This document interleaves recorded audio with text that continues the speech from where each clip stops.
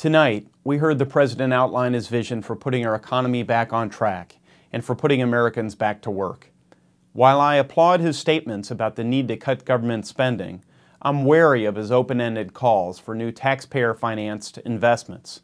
For the past two years, our Congress has charged record levels of spending to the national credit card by calling it investment and promising it would create jobs.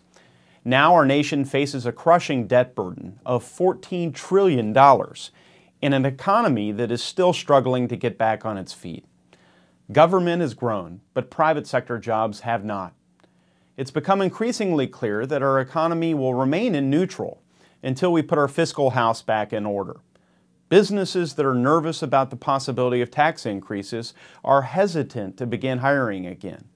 Congress must act quickly and in a bipartisan fashion to reduce spending and to develop a coherent plan to bring our debt under control. That's why I support efforts by our Republican leadership to cut spending back to 2008 levels.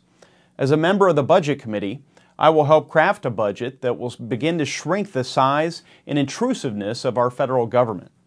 We in Congress should immediately get serious about cutting spending in order to create the conditions for sustainable economic growth and job creation. Thank you.